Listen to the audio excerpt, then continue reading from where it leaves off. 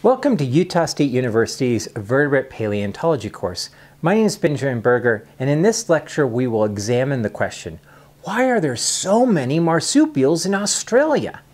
There are about 334 species of living marsupials, with 14 species in North America, 86 species in South America, but a whopping 234 species of marsupials in Australia.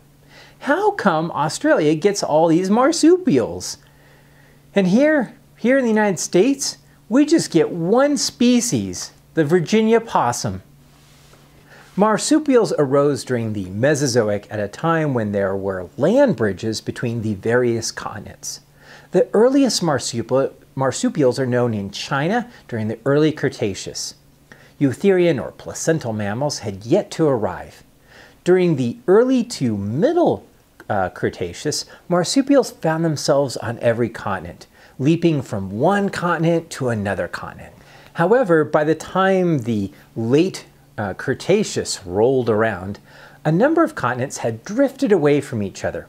South America had become an isolated continent, as well as Australia, which was drifting north of Antarctica. This made it difficult for the late arriving placental mammals to get to all of these continents. In South America, a few groups of late Cretaceous and early Paleocene Eutherian mammals made it there, and they evolved into these bizarre array of South American ungulates and xenarthrans. But the marsupials were one of the dominant groups in the Cenozoic of South America. These groups could not cross into Antarctica, and none of it made it over to Australia during the late Cretaceous. Hence, Australia basically only contained marsupial mammals, which had colonized the continent from before the late Cretaceous. This isolation led to the success of marsupials on Australia, into the mammals that we love today, such as kangaroos and koalas and wombats. This is not to say that marsupials are inferior to placental mammals, as many marsupials in North and South America have lived alongside placental mammals and have survived on the two continents for, for millions of years.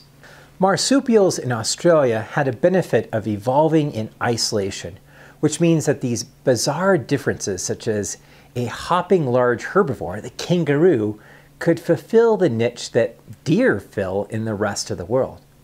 Evolution is played out differently when groups become isolated from one another and follow unique trajectories unique to their local geography and history.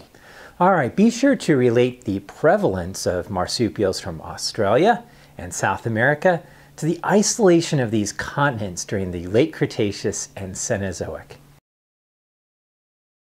Thank you for watching. If you'd like to learn more about the Utah State University's geology program, check out the website geology.usu.edu or my own website at benjamin-burger.org. Links are found in the description below.